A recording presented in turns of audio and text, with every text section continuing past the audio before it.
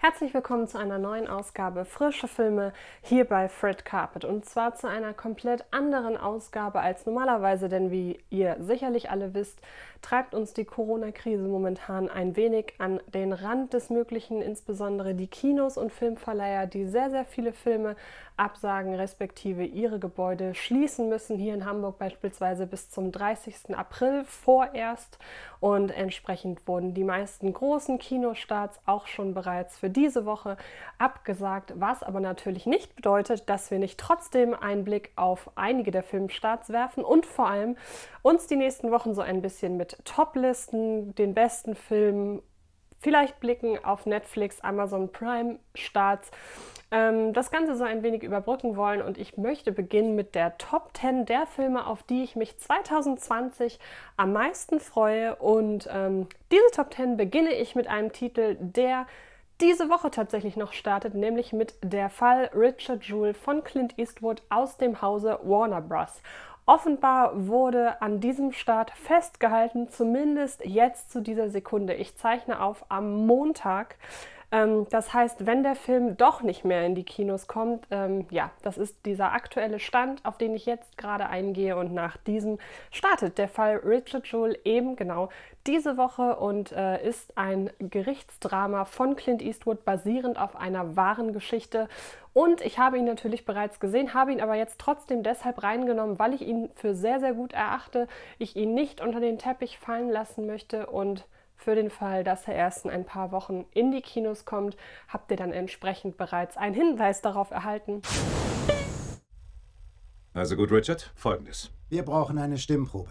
Ich möchte, dass Sie hier ins Telefon sagen, da ist eine Bombe im Centennial Park. Sie haben 30 Minuten.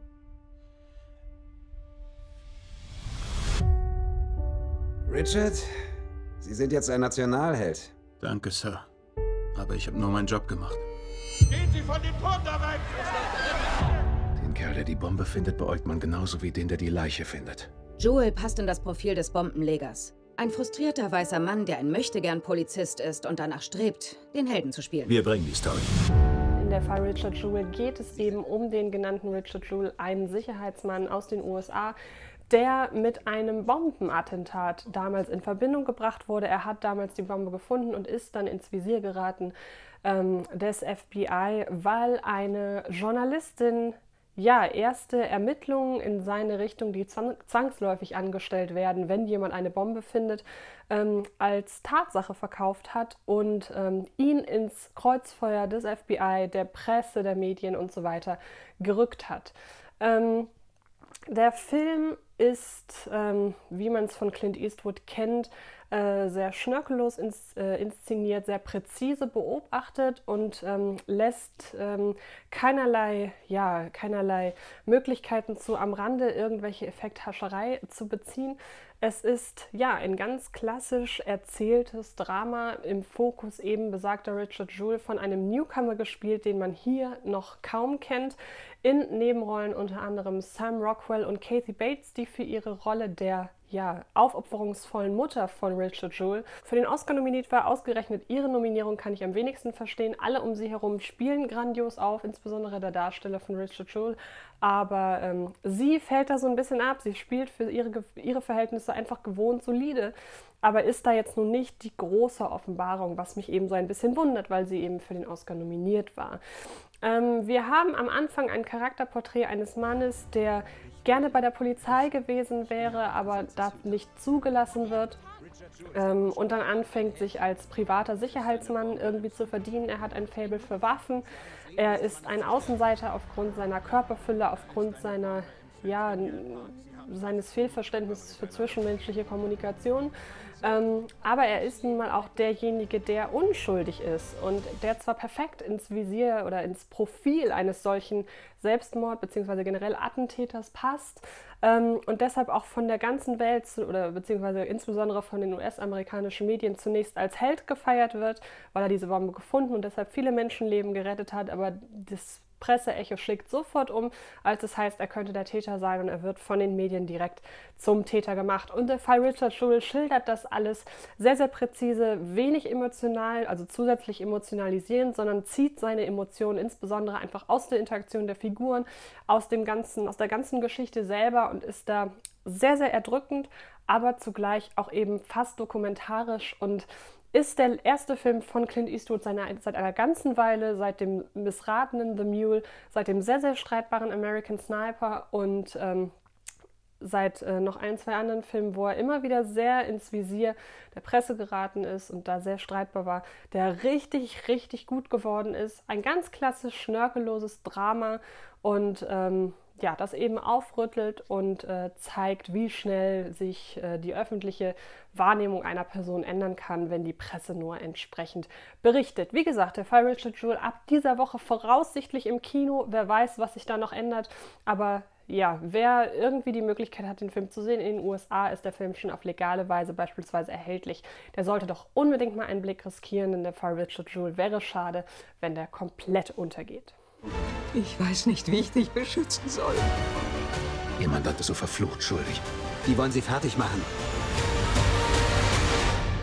Sind Sie bereit, sich zu wehren?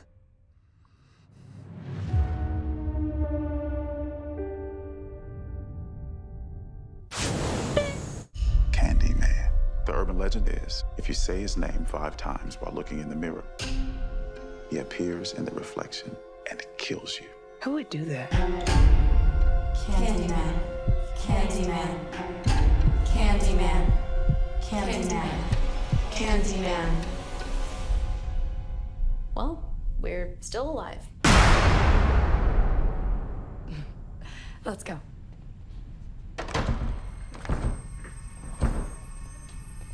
Trina, you broke the door.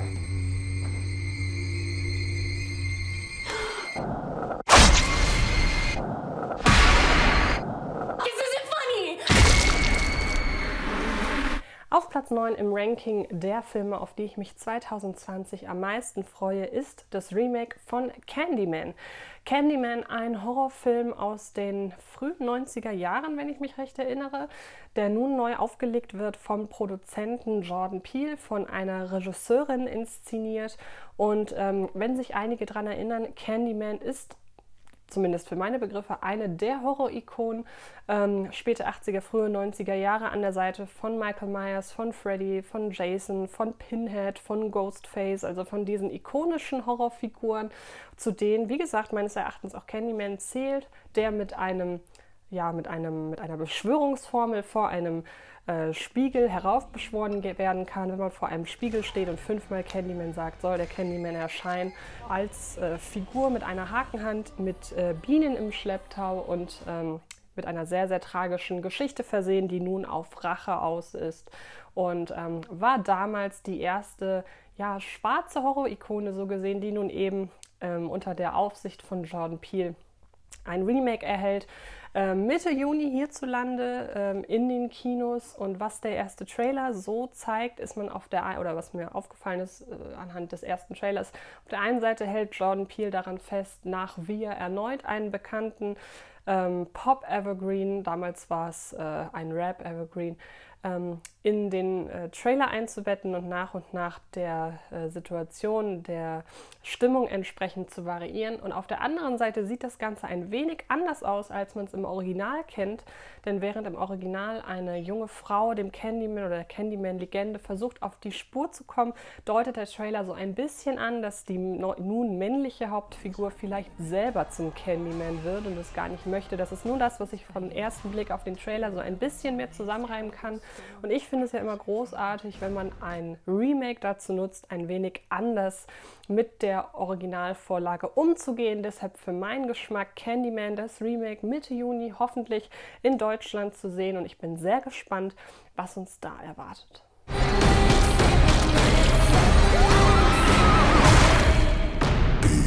My.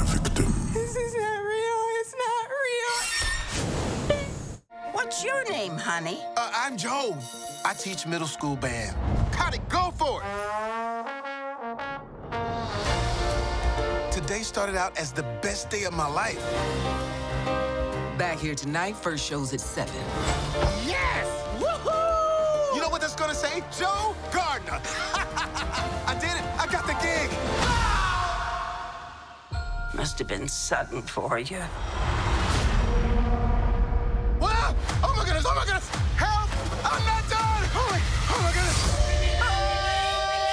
Auf Platz 8 kommt das absolute Kontrastprogramm mit dem neuen Disney-Pixar-Film Soul. In den USA kommt dieser Film bereits im Sommer in die Kinos. Hierzulande müssen wir uns leider noch bis zum Oktober gedulden. Nun hat der erste richtig lange, ausführliche Trailer zu Soul ein bisschen, ja, uns die Möglichkeit gegeben, reinzuschauen in das, worum es eben geht. Es geht um, wie der Titel es schon ausdrückt, um die Seele und ähm, das Ganze erscheint so ein wenig wie ja, wie eine Art, alles steht Kopf, nur eben nicht mit den Emotionen im Fokus, sondern eben mit der Seele. Und ähm, mit, äh, ja, mit einigen großartigen Sprechern dabei, Jamie Foxx beispielsweise oder Amy Poehler. Und ähm, ich bin wahnsinnig gespannt, was uns da erwartet. Alles steht Kopf war ein absolut großartiger Film aus dem Hause Pixar. Und wenn das Ganze auch nur ansatzweise so liebevoll und so ja, mitfühlend und herzergreifend jetzt gerät bei Soul, dann kann ich es einfach nicht erwarten, diesen Film zu sehen. Ich war ein wenig skeptisch, weil der erste Teaser so ein bisschen in die quatschige Richtung ging. Der hatte am Ende so eine, ja, so ein Gag, der sich so sehr lange in, den, in die Länge zog. Und nun aber der erste richtige Trailer offenbart, okay, das scheint wieder in eine melancholische Richtung zu gehen, auch wenn ich finde, dass der Trailer vielleicht ein bisschen viel verrät, aber für meinen Geschmack letzten Endes, es sieht alles wieder Hammer aus. Und wie ich es schon in meiner Kritik zu Onward sagte, die ihr ähm, unter diesem Link, der müsste hier oben, glaube ich, eingeblendet werden, nochmal in einer älteren Ausgabe sehen könnt, ähm, ja, ich könnte mir vorstellen, dass Soul nun eine Art Entschädigung sein könnte für Onward. Onward war dann doch eher Mittelmaß für Pixar-Verhältnisse, aber das in einem Jahr so schnell aufeinander, dann müssen wir überlegen, wenn er in den USA schon im Juni kommt und äh, Onward dort gerade erst gestartet ist, dann liegen da wirklich nur ganz wenig Monate zwischen. Ähm, dann wirkt das so ein wenig wie eine Verstecktaktik von Seiten Pixar. Und ähm, es würde mich nicht wundern, wenn Pixar eben alles an PR-Mitteln und alles an Kreativität irgendwie in, in Soul setzt. Und ähm, warten wir mal ab, was da noch an Sprechern bestätigt werden und ähm, generell, wie sich das alles dann, wie das alles dann ausschaut. Aber ich halte sehr, sehr große Stücke auf Soul und ähm, habe vollstes Vertrauen, dass Pixar da dann wieder zur alter Stärke ähm, hinfinden wird. Is all this living really worth dying for? You're still alive? Can you help me get back? No way! There I am. What are we waiting for? Wait, not me!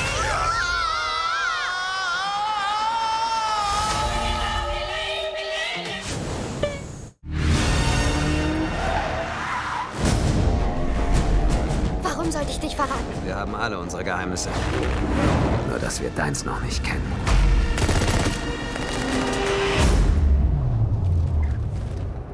Nun kommen wir auf Platz 7 zu einem Film, der oder dessen Verschieben oder Verschoben, Verschiebenheit, was auch immer, ähm, bereits bestätigt wurde. Denn eigentlich sollte James Bond 007 keine Zeit zu sterben bereits demnächst im April bundesweit und generell weltweit auch in die Kinos kommen. Erste Trailer haben das schon angekündigt, was für ein Action-Spektakel das wird. Der Song von Billie Eilish läuft im Radio rauf und runter.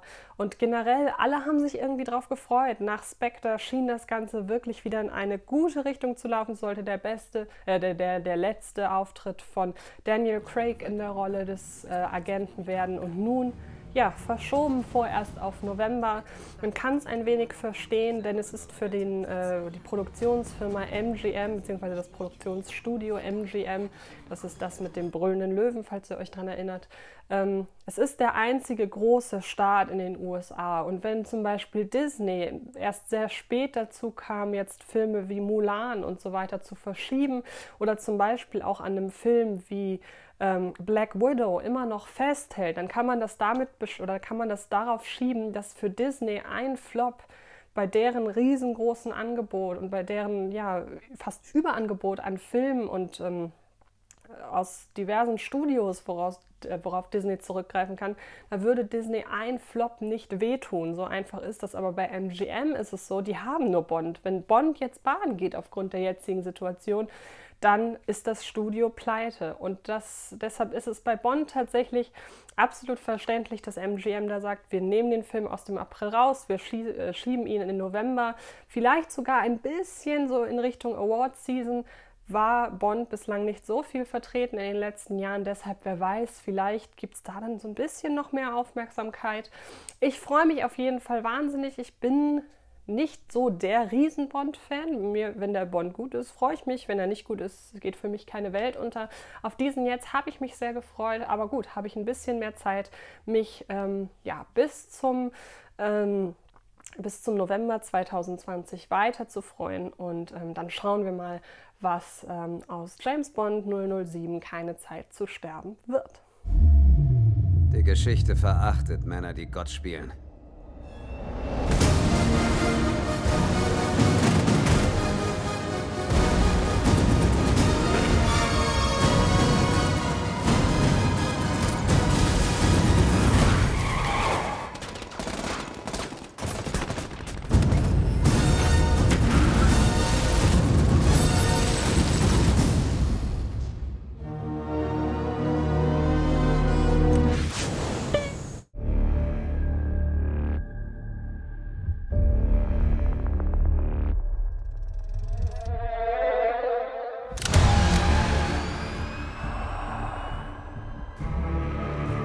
Immer das war, hat noch ein anderes Motiv.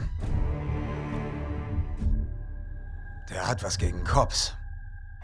Gehen wir nun von Januar zurück in den Juni. Da ist am 11. nämlich momentan noch Saw Spiral angesetzt, unter der Produzentenaufsicht von Chris Rock entstanden. Ob das Ganze nun ein Sequel, ein Prequel, ein Spin-off oder was auch immer wird, ist momentan oder geht aus dem Trailer noch nicht hervor. Daraus hervorgeht nur so ein bisschen, dass es wahrscheinlich wieder mehr in die Thriller-Richtung gehen wird und dass Chris Rock und Samuel L. Jackson als bekannte Darsteller dabei sind. Aber das war es auch dann so ziemlich, denn der Verleih Studiokanal bzw. Lionsgate weltweit, der hält sich bei den Infos zu diesem Film sehr zurück. Kann ich verstehen, der letzte Film Jigsaw war eine absolute Frechheit. Ähm, und generell hat die Reihe ja ähm, außerhalb der Hardcore-Fans ein wenig an Ansehen verloren durch die insgesamt sieben Teile, außer Jigsaw eben. Meiner, meinem Empfinden nach war, ist die Reihe oder funktioniert die Reihe sehr, sehr gut als Gesamtkonstrukt. Ich mag es, wie hier versucht wird, ähm, einfach, wie gesagt, so ein erzählerischer äh, Überbau zu kreieren. Ähm, klar, irgendwann haben sich die Foltermethoden und äh, Folterfallen sehr, sehr stark in den Fokus gedrängt. Aber hey, wenn das jetzt wieder zurückgeht, so auch zu Teil 1 so ein bisschen, was ja vorwiegend eher so an äh, Sieben erinnerte und noch nicht so der Torture-Porn war, was die Reihe ja insgesamt dann doch eher beflügelt hat, dann bin ich wirklich wahnsinnig gespannt und die ersten Plakate und Bilder sehen wirklich gut aus. Ich hoffe, wir sehen uns dann bald an dieser Stelle wieder, irgendwann im Juni und dann kann ich euch hoffentlich sagen, dass Saw Spiral ein sehr, sehr guter Horrorfilm geworden ist. Willst du ein Spiel spielen, Motherfucker?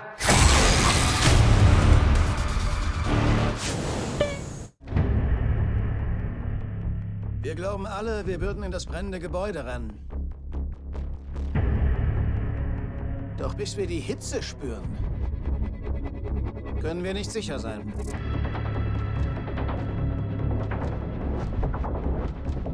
Sie schon. Sie entschieden sich zu sterben, anstatt ihre Kollegen aufzugeben.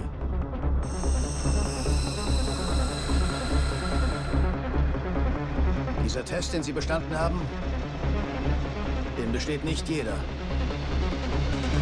Willkommen im Jenseits. Um zu tun, was ich tue, brauche ich eine Vorstellung von dem, was uns droht. So wie ich das verstehe, versuchen wir den Dritten Weltkrieg zu verhindern. Den nuklearen Holocaust? Nein. Etwas Schlimmeres. Alles, was ich für Sie habe, ist ein Wort. Tenet. Es öffnet die richtigen Türen, aber auch manch eine falsche.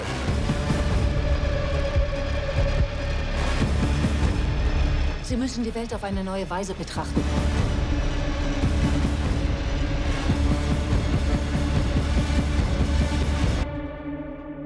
Versuchen Sie nicht, es zu verstehen. Fühlen Sie es.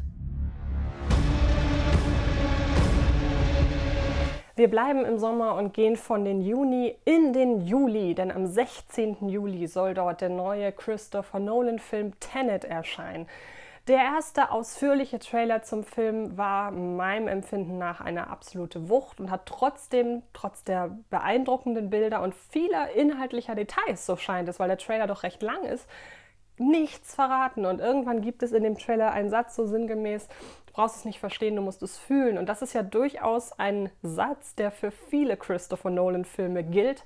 Und nun hier eben auch. Worum geht es? Ja, man weiß es nicht. Es geht irgendwie um Zeit, es geht irgendwie um jemanden, der tot ist und jetzt aber im irgendwelche Aufgaben erfüllen muss. Es wirkt so ein wenig wie äh, Inception, nur noch ein bisschen weiter gedacht. Also es ist sehr, sehr schwierig. Es, äh, man weiß nicht, was es soll, aber man weiß, es sieht geil aus. Und ähm, obwohl in dem Trailer von Tenet eigentlich die spektakulärsten Szenen einfach nur daraus bestehen, dass Action-Szenen rückwärts gefilmt, aber vorwärts dann abgespielt werden, man weiß nicht, wie es jemandem wie Christopher Nolan gelingt, so etwas Einfaches dann doch wieder wahnsinnig großartig und kreativ erscheinen zu lassen. Und ähm, ich kann Tenet kaum erwarten, einfach weil ich wissen möchte, was sich dahinter verbirgt. Ob der Film am Ende dann auch gut ist oder einfach wieder nur ein Mindfuck, das werden wir dann sehen. Aber ich möchte einfach zu gerne wissen, was sich Christopher Nolan jetzt schon wieder ausgedacht hat. Und hoffentlich werden wir das am 16. Juli 2020 erfahren.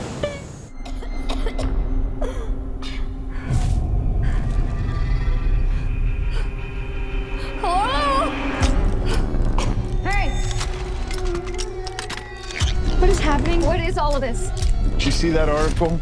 Every year, these liberal elites kidnap a bunch of normal folks like us and hunt us for sport. Auf dem vierten Rang habe ich nun einen Film, der in den USA bereits gestartet ist und hierzulande, so der aktuelle Stand, am 14. Mai in die Kinos kommen soll. Ursprünglich wäre The Hunt aus dem Hause Universal-Blumhouse allerdings schon längst gestartet. Allerdings wurde der Film kurz vor seinem Start in den USA abgesagt. Aus dem Grund, dass er mit seinem Thema einer Menschenjagd, äh, wo halt eben Reiche auf Arme äh, irgendwie Jagd machen sollen, Bewaffnete, ähm, sehr, sehr schwierig zu promoten ist in einer Zeit, wo oder die wohl damals von einigen Schießereien und Amokläufen in den USA ziemlich durchgerüttelt war. Ähm, nun aber hat sich Universal entschlossen, den sehr skandalumwitterten Film eben doch noch rauszubringen. Die ersten Meinungen zu dem Film sind sehr, sehr gespalten. Entweder liebt man ihn oder man hasst ihn. Und normalerweise sind solche Filme dann die, mit denen ich sehr, sehr gut zurechtkomme. Und ähm, ja, von daher The Hunt, ich bin sehr, sehr gespannt, was der Film in den, äh, ob der Film rauskommt vor allem und was er kann. Und ich habe sehr, sehr großes Vertrauen in ihn. Deshalb freue ich mich sehr auf den 14. Mai und auf The Hunt. You wanted it to be real, so you decided it was.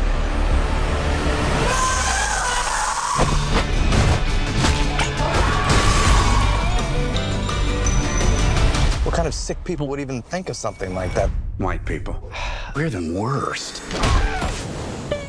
Während in den letzten Tagen ja vor allem Kinoabsagen bzw. Kinostarts abgesagt wurden, hat ein Verleih einen Kinostart in Deutschland bestätigt, nämlich den von The Green Knight aus dem Hause A24.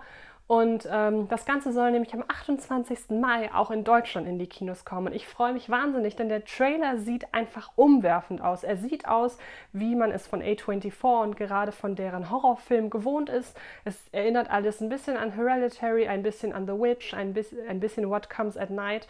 Und das Ganze aber verpackt in ein Setting, wie man es aus ja, Historienfilmen kennt. Worum es geht, keine Ahnung. Im Hauptmittelpunkt steht Dev Patel als König. Es spielt im Mittelalter. Es gibt sehr skurrile, gruselige Szenen, die wir im Trailer sehen. Worum es geht, wie gesagt, man weiß es nicht. Da geht, das geht auch aus dem Trailer nicht so richtig hervor. Aber ich freue mich einfach aufgrund der Bildgewalten. Regie geführt hat der Regisseur, der unter anderem A Ghost Story und Elliot der Drache gemacht hat. Also jemand, der von seinem Genre her sehr, sehr breit aufgestellt ist. Und ähm, ja, wir erwarten alle ganz gespannt den 28. Mai, denn dann kommt The Green Knight auch in die deutschen Kinos. Tell me a tale of yourself, so that I might know thee. I have none to tell. Yet. You have none to tell yet.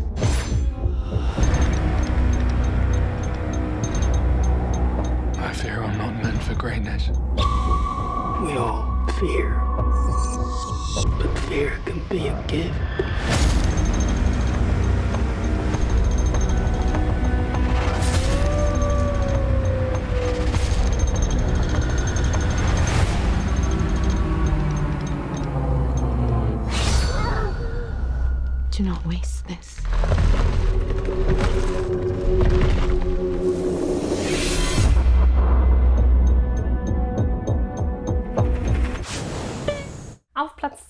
Kommt ein Film aus dem Hause Universal in die deutschen Kinos und ich, ja, ich ordne das Ganze mal grob im Sommer 2020 ein. Aus dem einfachen Grund, weil der Film bereits ein paar Mal in Deutschland verschoben wurde, schon vor der ganzen Corona-Sache, auch immer nur ein bisschen, also mal Juli, mal August. Ähm, deshalb, ich sage mal über den Daumen Sommer und die Rede ist von In the Heights, von der ja, Verfilmung des gleichnamigen Musicals. Und ähm, es geht um ein, ja, um ein kleines, um einen kleinen Ort in den USA, um ein kleines Ghetto fast schon, wo sehr, sehr viele kreative Menschen leben und ähm, die alle so ihren großen Traum verfolgen. Und im Mittelpunkt steht eben ein junger Mann, der seinen Traum vom äh, Sänger und Tänzer verfolgen möchte. Und das Ganze entwickelt sich dann zu einer Art ähm, La La Land in, ja, in the Heights sozusagen. Und ähm, der erste Ohrwurm aus dem, aus dem Musical ist bereits im Trailer verarbeitet. Ich äh, kann es kaum erwarten. Ich finde, mit, seiner, mit, seinen, mit seinen Choreografien, mit seinen bunten Farben, mit seinen tollen Kameraspielereien kündigt der Trailer eben schon an, was uns wahrscheinlich dann in der Langfilmfassung erwarten wird. Und ähm, ich habe auch in das äh, Musical, in das Bühnenmusical bereits reingehört. Es ist ein großer Broadway-Hit und ich hoffe ganz, ganz, ganz, ganz stark, dass der Film nicht noch unter den Corona äh, unter der Corona-Krise zu leiden haben wird. Denn alleine schon das Verschieben von Juli auf August finde ich ganz, ganz schwierig. Ich kann es wirklich kaum erwarten. Und es gibt nur einen einzigen Film, den ich auch schon bereits gesehen habe, den ich aber für derart großartig erachte, dass ich ihn hier bereits einmal erwähnen möchte. Denn ich fürchte auch, dass er dem, äh, den Kinostartverschiebungen zum Opfer fallen könnte. Welcher das ist, das seht ihr gleich. Und ähm, dann kommen wir zu Platz 1 äh, meiner meist erwarteten Filme für das Jahr 2020. Hör einfach zu. Kleine Dinge, die der Welt sagen, dass wir nicht unsichtbar sind. Ignoriere jeden, der an dir zweifelt. We came to work and to live, and we got a lot in common.